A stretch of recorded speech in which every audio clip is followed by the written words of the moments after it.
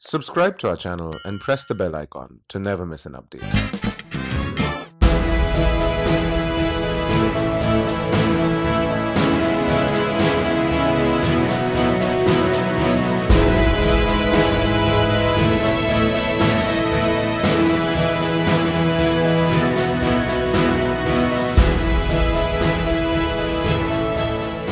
I went straight from engineering college um, into IIMC.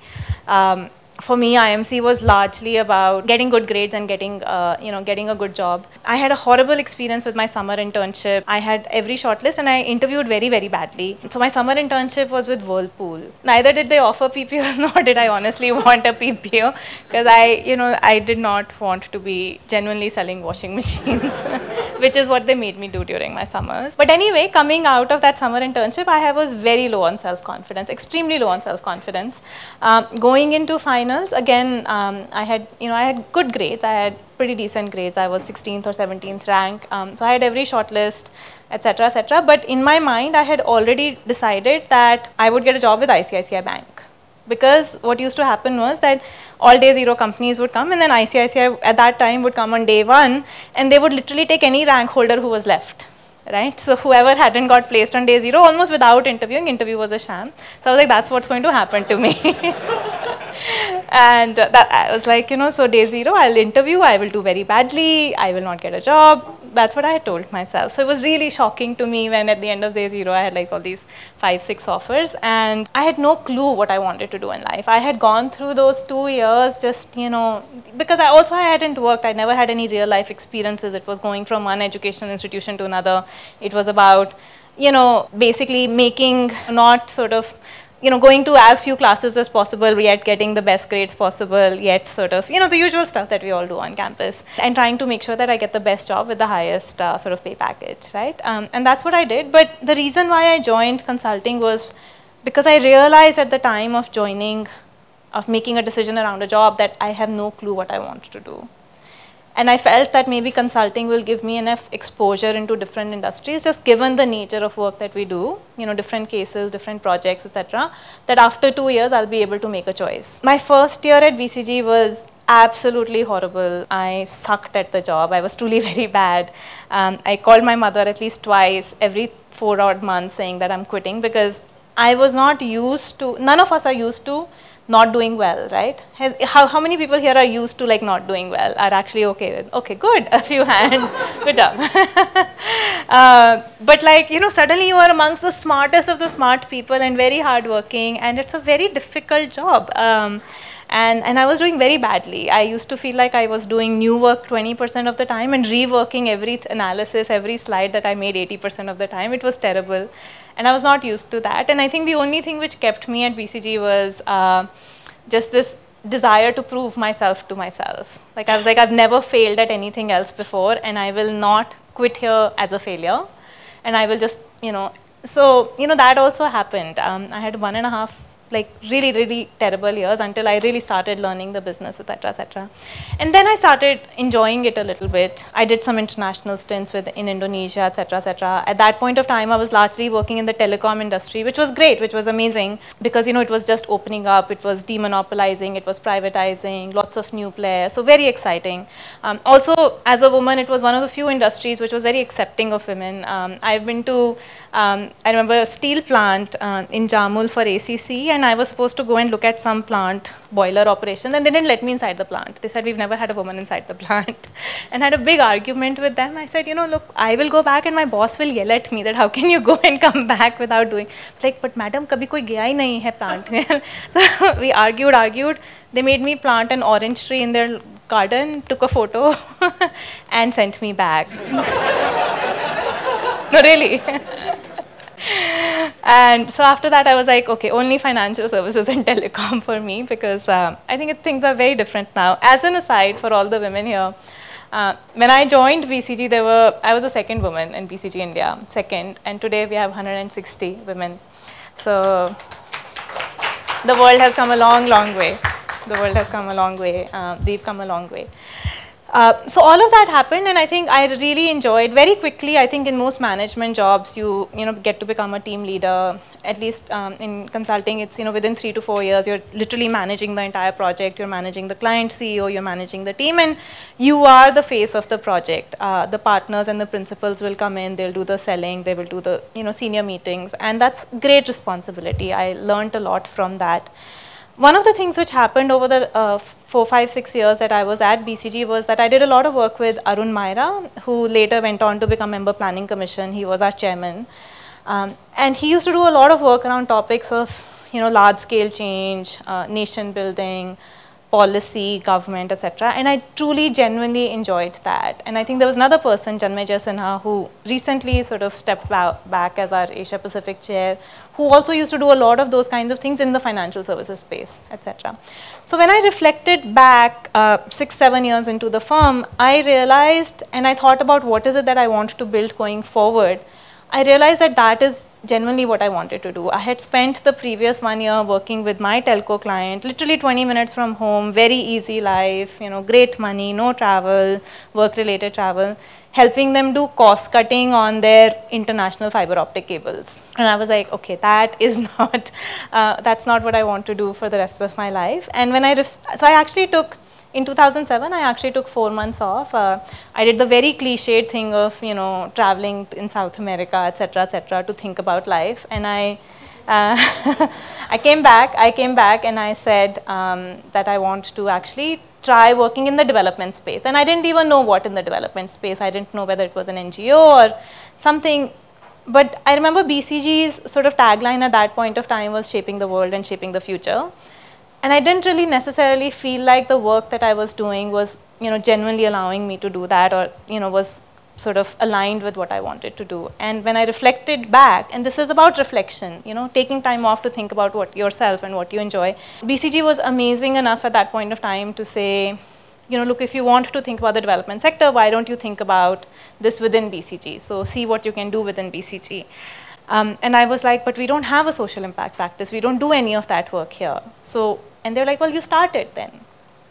Right? And that was amazing. Um, because you know they're like the, what are our guidelines our guidelines are that we're a consulting firm we provide advice we can provide an advice to anyone to an ngo to a development sec, you know to a development bank to government anything as long as there is also some money behind it we can't continue to do we can't do this pro bono but as long as our costs are covered we're happy to help you build. 2013 was our big break when the government of Haryana asked us to actually come in and help with their education system. And they said, you know, we have 15,000 schools, we have 20 lakh kids going into those schools, and those schools don't work. And how can we actually make them better?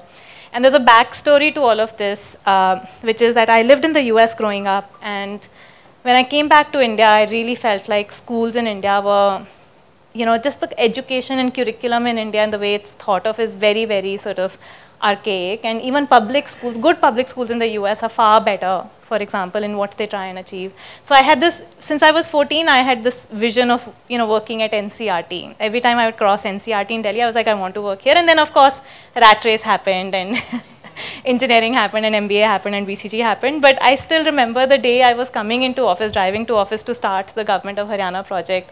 I remember that this is what I had wanted to do when I was 14.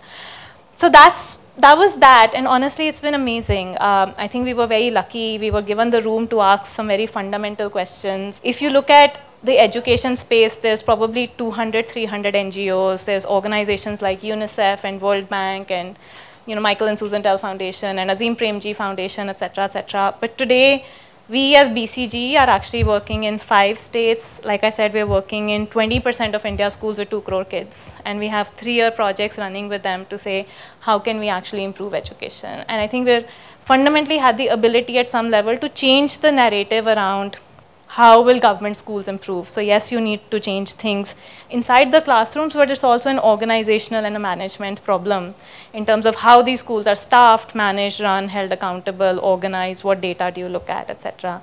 And we've had a huge role in sort of playing that narrative and learning every day, learning every day in terms of new things, but a fantastic opportunity. We're also starting to apply that now to public health systems, nutrition systems, rural energy access systems, and today the practice within BCG is about 10% of our work. from not kind of existing 10 years ago and really starting off about six, seven years ago. And I have a team of about 30 or 40 people who are extremely enthusiastic and extremely passionate, and, and we kind of work together on these projects. So that's been my journey, and I think it's genuinely fairly unidimensional. I think I've not really taken any risks in terms of, you know, really moving geographies or, you know, moving out of, you know, my one firm. I think the only risk I took was, you know, you know, going off the beaten track within BCG and uh, and starting the social impact practice. Um, so I feel like it's been fairly unidimensional, uh, the journey, although I love the place where I am at today. So I think related to that, some of the questions which were asked were, um, I think there was something around a challenge. Yeah, challenges that I've faced, uh, challenges that I've faced. And um, I think there was something around uh, something that I would have done differently. Yeah, okay, okay. I think I would say two or three challenges uh, in any job. I think in any corporate job, especially as a woman, but I think in any corporate job, there are points of time when, when it is fairly demanding, and you have to go through the learning curves of what that is, etc. And there have definitely, especially in the last eight nine years with the two kids and you know home and and, and this crazy job, uh, there are times when you're just like you know why am I doing this and I want to you know give up. And I think my learning from all of that is that never ever make a decision at the lowest point in your time in your life right? So if you're just genuinely feeling low today then defer the decision to next week. Because you'll never take the right decision when you're feeling low right? And and i think think about things at a broader level think about things for example in the last one year if i look not whether i feel how good or bad do I feel about the last week or the last month, but how do I feel about the last one year? How do I feel about the last two years?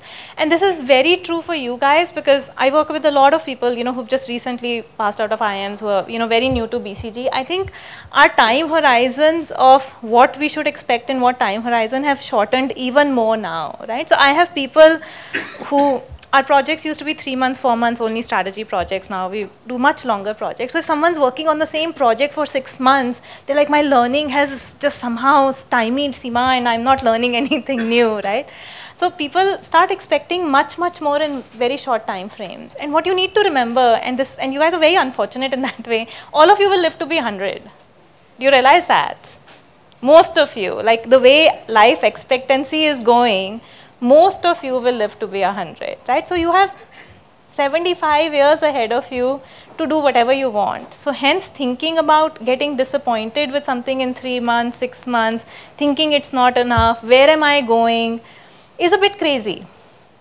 Right? I mean, I literally, all of my peer group in our early 40s is suddenly like, shit, we've done everything in life, ab kya kare? Right? So do things slowly. Enjoy the ride. enjoy the journey. Um, you know, so I think um, that life isn't always perfect once you join jobs and once you start living the real life outside of campuses. Uh, but give it time. You know, if you've taken a decision, be patient with it. Stick with it for a little bit. And, and see whether, whether it works out or not. Don't be impatient. I think so. Um, so it has been challenging often, you know, living this life for the last 18, 19 years. But um, overall, if I look back, uh, I would probably do the same thing. Having said that, the one thing that I do regret is just lack of variety. I, I do wish, for example, that either I had worked somewhere else between my engineering and my MBA. I feel like I've been in the same place, um, you know, for so many years. I've been, I'm like BCG's home. Um, I haven't experienced what it is like to actually, you know, run a business, to run a PNL. I haven't experienced many, many different things. I won't give up this experience, and yet at the same time, I feel like there's so many things that I haven't experienced, right? Um, so if I look back, I do feel like maybe I should have done many other things in my 20s. I should have worked between my engineering and my MBA. After my MBA, maybe I should have taken a year off or two years off from BCG, taken a sabbatical, done something, studied. I don't know. I, I, I do feel like I could have done a lot more with my time. Um, and I was, again, you know, in this sort of rat race a little bit that you have to go through every promotion in two years. If I, you know, go slower, if I do something else, you know, my batch will go ahead of me. It doesn't matter, right? And there is no one path. I think creating your own path is very, very important.